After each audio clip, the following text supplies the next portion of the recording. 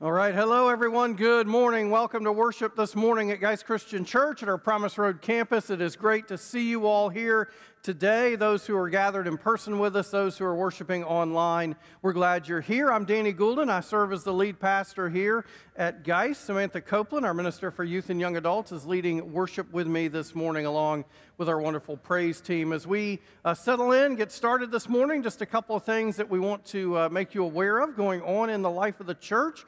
We are continuing our Fueled for School, our summer uh, meals program for those who otherwise might not have a meal. We had peanut butter this week. Um, I think we have oatmeal packets coming up next week for next Sunday, so make sure you bring your oatmeal packets, but know that those gifts are appreciated and they are feeding a lot of people. And so thank you for that. Thank you for your generosity uh, for that.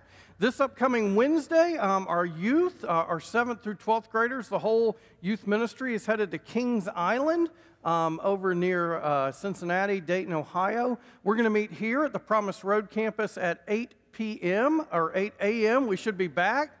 Uh, they should be back hopefully by 8 p.m. that day. Um, it's a wonderful day at Kings Island. The cost to do this is $40.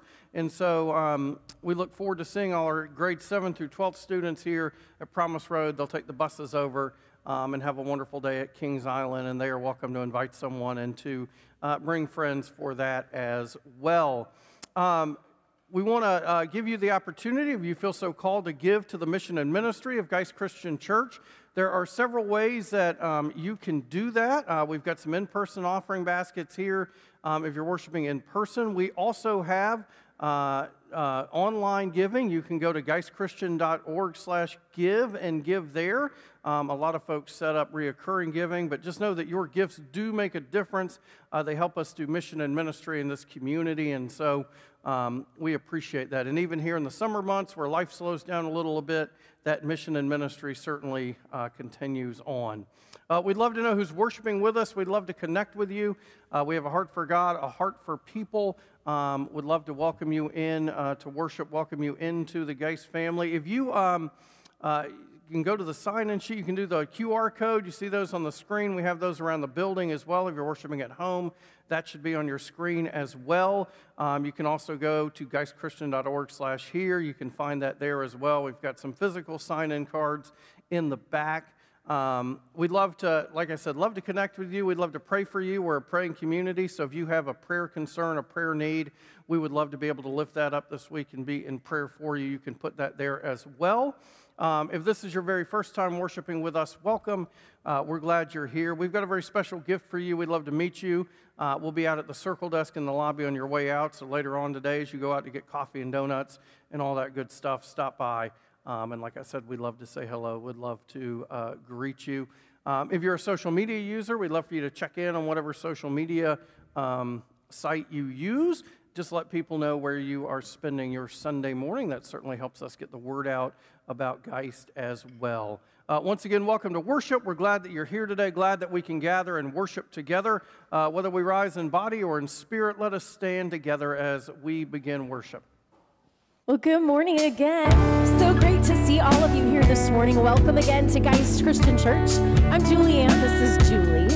We're going to lead you in some songs this morning, and you're going to hear a theme about a victory, about believing in the goodness of God. So sing along with us this morning with that prayer and power in our hearts. We give Him glory. Here we go. I give you glory for all you brought me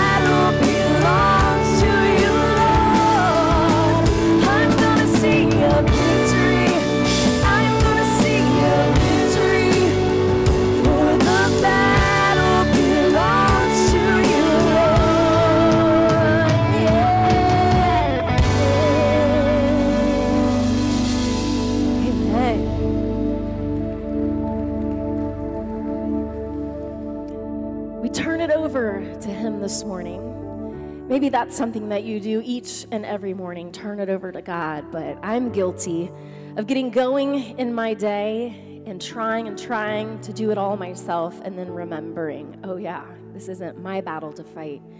I need to surrender it to God. Palms up, take it from me, and He will. I love that song because there is such power in positive thinking. You've maybe heard motivational speakers say that. Maybe our own CJ has talked about the power of positivity. But to declare something as truth, you begin to own it and understand it and accept it and to say, I'm going to see a victory.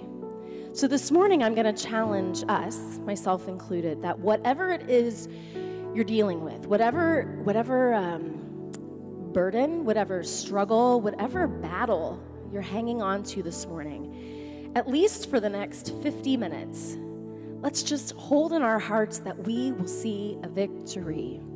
And I'm just going to challenge you to hold on to that belief this morning. And at least in this morning, as we hear the message from Pastor Danny and as we hear these songs and as we partake in communion, that we just have that as a constant presence in our mind, that we know God said it's possible. So therefore, I'm going to see a victory. The battle belongs to Him and not me. We're going to sing uh, another song together, King of Kings. And the words in this are so beautiful because it's really about that mountain we climb each and every time. And at the top, at the very, very top, is God, Christ, our Savior. Sing this one along with us.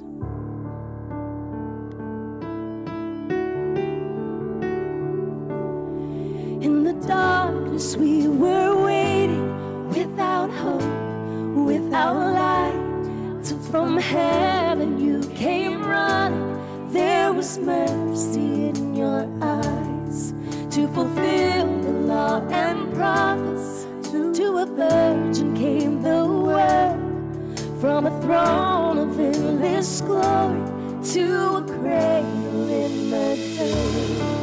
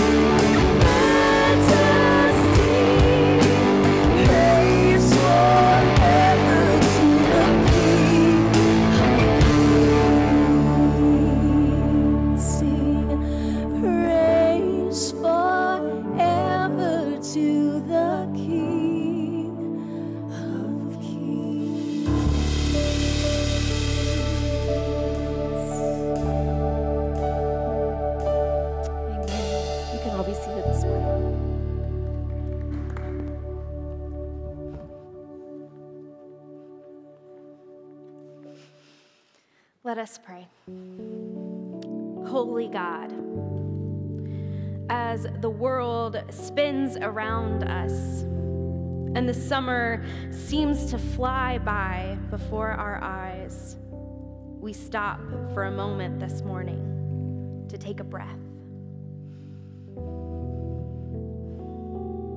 to center ourselves in your great presence.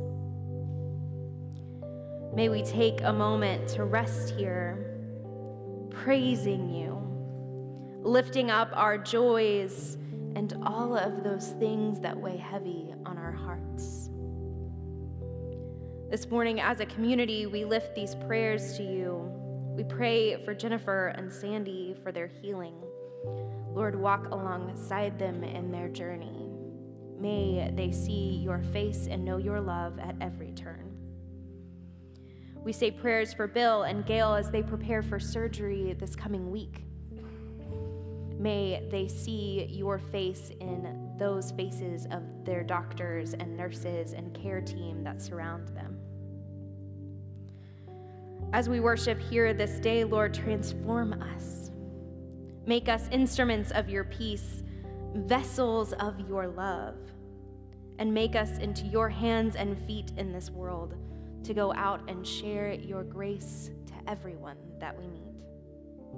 We pray this together as we pray the prayer that Jesus taught us, saying, Our Father, who art in heaven, hallowed be thy name. Thy kingdom come, thy will be done, on earth as it is in heaven. Give us this day our daily bread, and forgive us our sins as we forgive those who sin against us. And lead us not into temptation, but deliver us from evil. For thine is the kingdom and the power and the glory forever. Amen. Sam, your sermon notes are still up here from last week, and your sermon's probably better than mine, so I'm just going to preach it. Is that okay? So if I get confused, and in one moment I'm talking about David and Goliath, and the next Jonah, it's not a mashup. It's just uh, we got we got messed up up here. So we're in the series called Epic Tales, and we've been looking at some of the stories from the Old Testament that some of which we have known since childhood. You don't have to have been or be a religious person to know these stories, and other of these stories you may not be as familiar with. Today's story, the story of David and Goliath, you are probably familiar with. Religious, non religious, it is one of the most commonly used stories in our modern culture. So, any situation, of course, involving someone overcoming a great obstacle is what we would refer to as a David versus Goliath moment. If you're a sports fan, right, the big underdog is always known as David, and the, the champion that, that cannot be overcome except by some miracle is always known as Goliath. Goliath is always expected to win, and David is the underdog working to overcome seemingly insurmountable odds. And in those instances, right, those rare instances, it feels like, where David defeats Goliath, it is a big deal. Collectively, we are surprised because no one, no one expects David to win. And so we owe this modern analogy, we owe this to an event that happened many years ago in the Middle Eastern Valley of Elah where the kingdom of Israel was in conflict with the Philistine army. And they're going to have a battle. They're going to have an epic battle. And so, someone who is six foot nine, wearing a helmet and full body armor, one known as a fierce warrior who could not be defeated, faced a small shepherd boy from Bethlehem who was basically there by accident.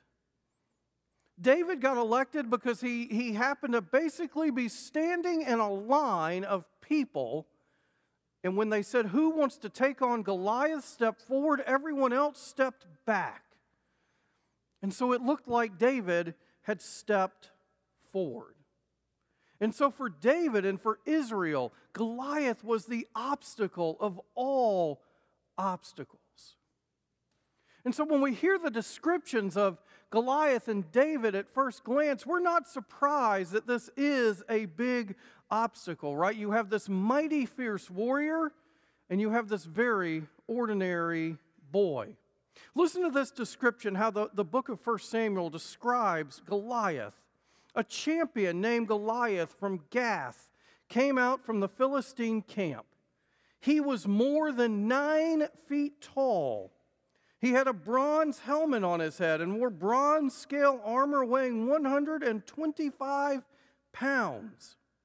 He had bronze plates on his shins. He had a bronze scimitar hung on his back. His spear shaft was as strong as the bar on a weaver's loom, and its iron head weighed 15 pounds. His shield bearer walked in front of him. And so now that we hold that image, we also hold this image of David. Then Saul dressed David in his own gear, putting a coat of armor on him and a bronze helmet on his head. David strapped his sword on over the armor, but he couldn't walk around well because he'd never tried it before. I can't walk in this, David told Saul, because I've never tried it before. So he took them off. He then grabbed his staff and he chose five smooth stones from the stream bed. He put them in the pocket of his shepherd's bag with a sling in his hand, and he went out to the Philistine. So here we have two very different images one image of Goliath, one image of David. And so today we are always surprised, right? When David, the David in any scenario, somehow overcomes the immovable force that is Goliath. But what if in that day, in the Elah Valley, for those gathered there, what if their perspective was a little bit different?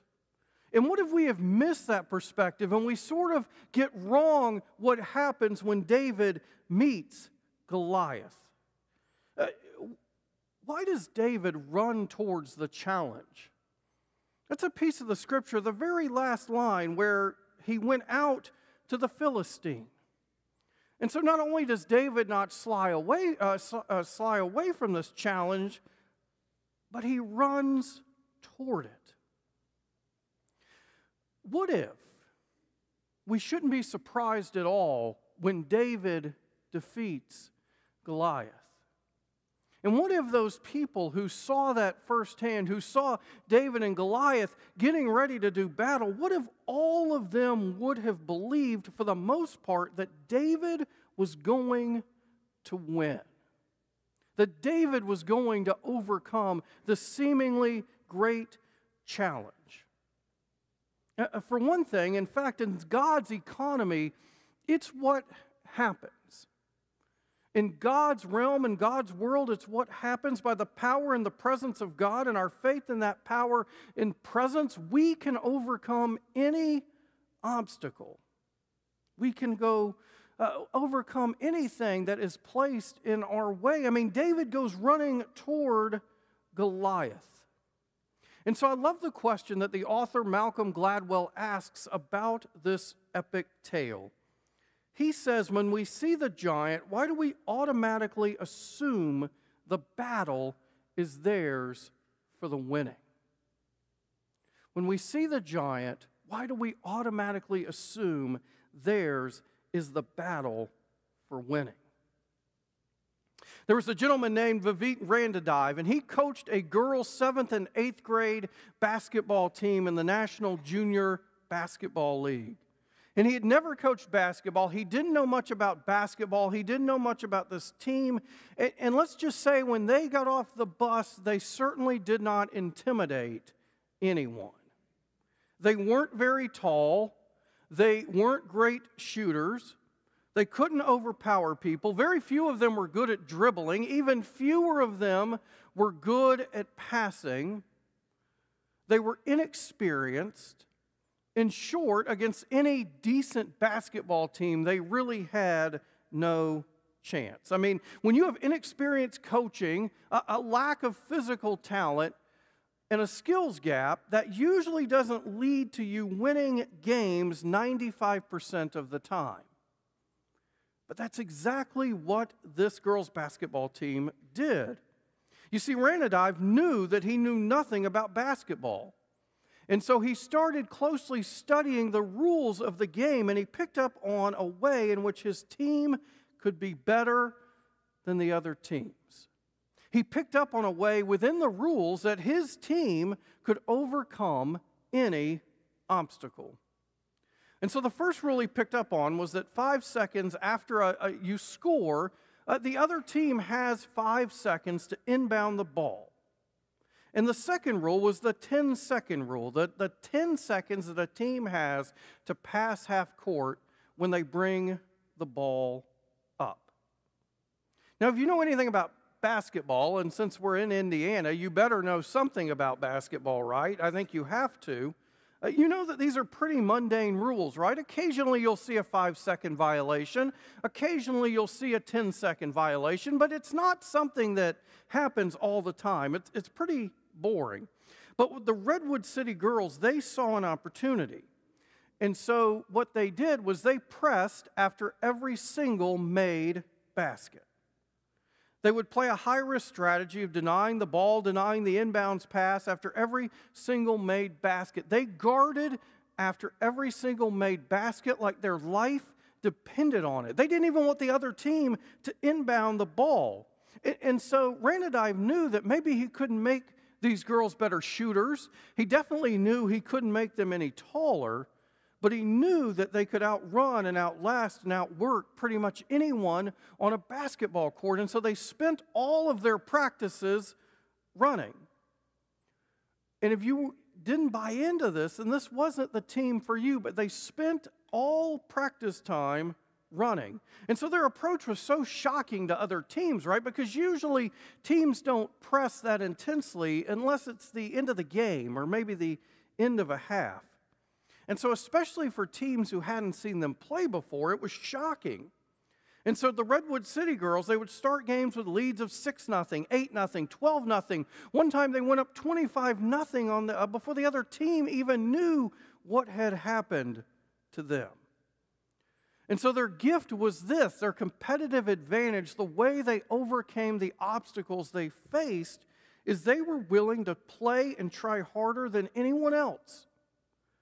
They would not be outworked, they would not be outtried, and they committed to it.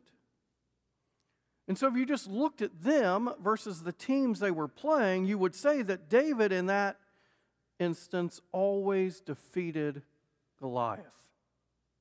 David always defeated Goliath.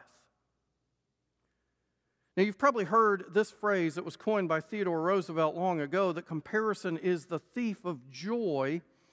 And often when we compare ourselves to others, right, it's a natural human tendency. We do it. We can't help ourselves, right? But it also is something that is not healthy for us because whenever we compare ourselves to other people, we feel inadequate. We focus on what we don't have rather than what we do have. We lament the gifts that we don't have and we ignore the ones we do right? We tend to focus on, I'm not six four. Comparison, of course, leads to dissatisfaction, it leads to disappointment. It's no way to live, and we know all of this.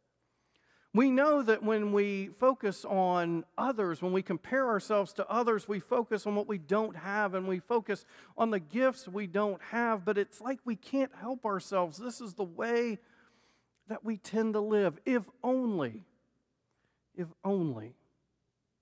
And so, comparison is the thief of joy. It's no way to live. And I say this because we tend to make Goliath into the giant that Goliath is not. We make Goliath into the giant that Goliath is not. We start diminishing ourselves. We start diminishing who God has made us and created us to be. We discount the gifts and the spirit that God has given to each of us. We lose faith in ourselves. We lose faith in God because we tend to focus on how we aren't rather than focusing on what God has made us to be focusing on what God has called us to do. We, we ignore the gifts that God has given each and every one of us because we're so worried about that gift or two that we maybe don't have. You see, in that valley that day, almost every single person understood God's economy, we can guess. They understood how God worked. They understood the gifts that David had in that moment, that God had given David, right? If you read the description of Goliath again, as you, uh, as you kind of pay attention to it, you realize that Goliath is pretty slow. He's nine feet tall, he's bulky. He's wearing heavy armor that weighs him down, causing him limited mobility. He can't move. And he's led into the valley by an attendant because he couldn't see very well. Many believe that Goliath was nearly blind. And so he needed to be led around so, so someone could tell him where to go. He needed someone to lead him in that way. And then we look again at David, right? David lets go of the heavy armor because he wasn't quick in it. He took five smooth stones because he knew, and most everyone else in that valley knew, that David was one of the best slingshot artists around. They knew that David was quick, and they knew that it would not be hard for him to hit Goliath. And maybe most importantly, David is described like this in 1 Samuel the Lord said to Samuel, Have no regard for his appearance or statue because I haven't selected him. God doesn't look at things like humans do. Humans see only what is visible to the eyes, but the Lord sees what is in the heart. The Lord sees what is in the heart. The good news in this is your best gift is you. Your best gift is that God knows you. Now, that can be intimidating, this idea that the Lord sees in the heart, that the Lord might know us that intimately, that God knows us so well and has given us gifts that are unique to each of us. But we can guess that David knew that. And so, in many ways, in many ways, if Goliath had somehow prevailed that day, it would have shocked those who were sitting there. It would have surprised those who were watching firsthand. You see, the upset is not when David wins, the upset is when Goliath wins. But in God's economy, we are created we are created to be able to do things that we can't even imagine, that we can't see. In fact, so we sometimes have such a hard time seeing it that we flip it around. But there are things we can do that God has uniquely created us to do. That leads to what I believe is the biggest gift that we as people of faith can offer, what we have been created to do. That leads to the biggest gift the church has to offer. Uh, yet, living out this gift, it's so simple, but it's actually turned into Christianity's biggest Goliath. It's the thing that we, like David, should run toward with all that we can muster. It is the thing that we should have the faith to do, that we have been made to do. It was Jesus' greatest commandment, and that is to love one another to love one another. So clear. We, as the church, we, as people of faith, are uniquely gifted to do just that, but we've made this simple idea into a Goliath. We've made it so hard to do. We've made it act like it's something we can't overcome when in fact it is exactly what we are made to do. We've made it into an obstacle rather than a pathway to faith. But this idea to love one another, this idea to share God's love, it should be natural to us. It should be a key part of our faith in God through Jesus Christ. Of all the obstacles we might face, of all the challenges we might face, of all the perceived Goliaths that we might face. It's the one that when we look around, we should say, we should be able to do this, overcome anything, so that we might do this each and every time to love one another, to love everybody, because it's what we are made to do. It's what we are made to do. It's what Christian community can and should do better than any other community.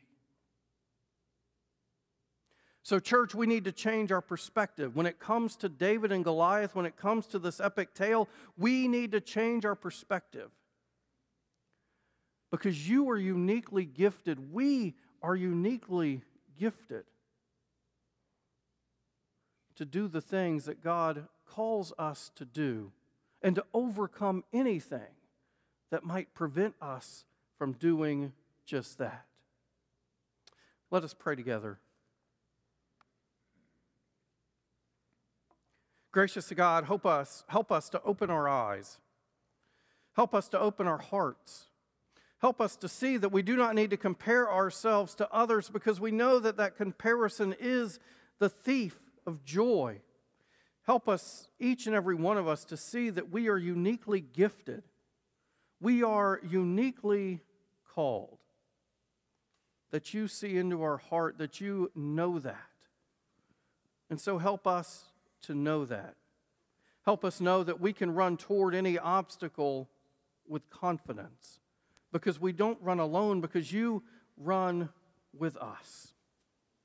And help us, oh God, each to do the thing we need to do to run toward with all the faith and courage we can muster that which is Jesus' greatest commandment to love one another. Help us, oh God, to remove that as a, a Goliath, an obstacle and help us to see that it is the way that you call us to be, that it is the way you call us to live. For it's in Christ's name we offer this prayer. Amen.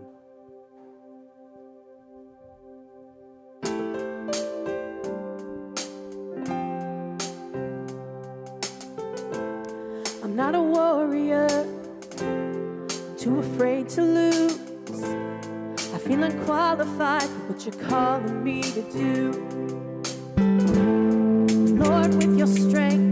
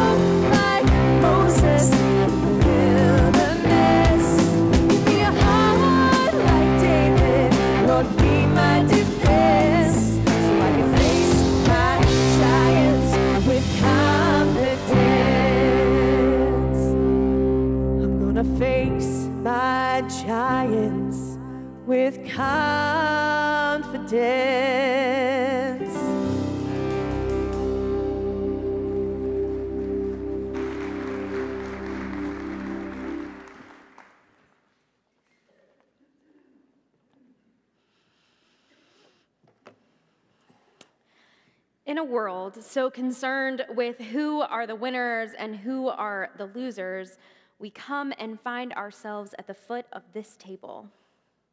Here, there is no winners or losers column. It doesn't matter if you yourself are a fan of the national champions, the Georgia Bulldogs,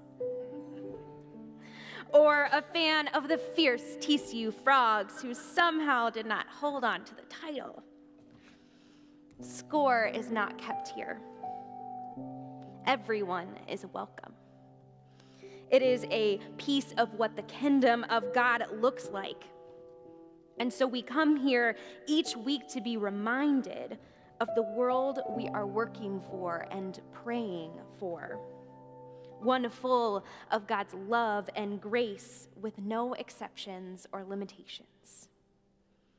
And so now, we remember together that night when Jesus gathered with his disciples, his closest friends, and he took the bread and he blessed it and he broke it, saying, This is my body, which is given for each of you. Likewise, after supper, he took the cup, pouring it out and blessing it, saying, This is the cup of my abundant grace, which is given for each and every one of you. Every time you eat of this bread and drink of this cup, do so in remembrance of me. Let us pray. Heavenly Father, creator of all things, we thank you for inviting us to this table today where we might gain the sustenance we need to perform the task you have given us in this world, whether they seem great or small, knowing you will be standing with us. We thank you also for the sacrifice of your Son, Jesus Christ, as he died for the forgiveness of our sins, and ask you to bless this bread and this cup as symbols of his sacrifice. We ask that by the power of the Holy Spirit, we can reflect your presence to all whom we meet and in all that we do in the week ahead. In your Son's name we pray. Amen.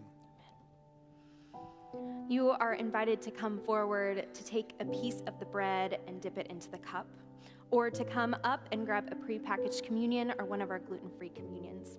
We ask that everyone come down the center aisle and come to one of the stations or up to the table to grab one of the prepackaged communions and then go back to your seats through the side aisles. The table is set and all are welcome. Let us come and eat together.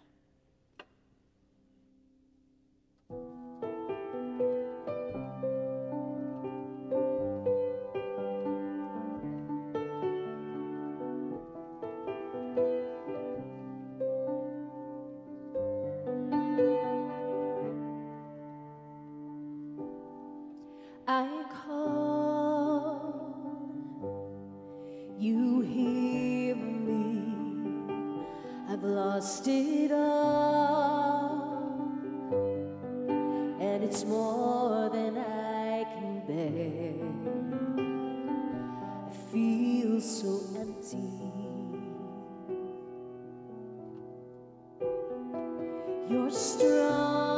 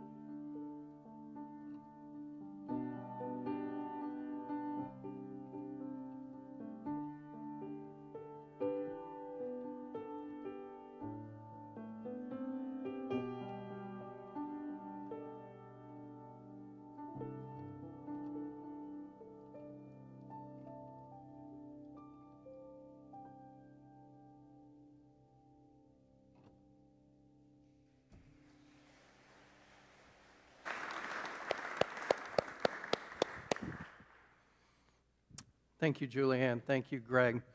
Uh, one of the ways in which we respond to God's grace that we receive at this table is um, just a, an invitation. Uh, if you have not yet made a profession of faith um, in Jesus Christ, and that's something that you have been thinking about and uh, would like to talk more about, um, both myself uh, Pastor Sam, Pastor Katie. We are here to talk with you about that. We'd love to talk with you further. Uh, maybe you've already made that profession. You're looking for a church home, a church community, um, and you want to say yes to Geist Christian Church. We'd love to help you with that and talk uh, a little bit more about you with that. We'll be around after worship, so feel free to, to talk to us. We'd love to um, talk with you further about that. Um, or, or anytime we can uh, grab coffee, whatever, whatever works for you. Um, but we just want to make sure that you know that invitation is there. Uh, we certainly want to invite you out for uh, some coffee, some donuts, some treats, all of that in the lobby following worship. If it is your first time, welcome. We hope that you have felt the Spirit of God um, in your life and in this place. We'd love to meet you, get to know you a little bit better. Um, and we have a gift for you out at the welcome desk in the lobby. And we certainly hope to see you all uh, next week once again at 10 a.m. Uh, let us rise, whether in body or spirit. I'm going to offer a prayer for us for the week, and then we have uh, one more song of worship together. Uh, let us pray together. Oh, gracious and loving God, indeed, help us go with confidence. Help us to go toward our giants in confidence. Help us to see these differently, not as obstacles, but as pathways to faith. Help us each to know the unique gifts that you have given us. Help us to know that you see each and every one of us and you know each and every one of us intimately. And this is the greatest gift that we could ever receive. May we go in your grace and in your peace and in your courage. Amen. All right, let's sing together one more time before we head out today. Go. I raise the hallelujah presence of my enemy.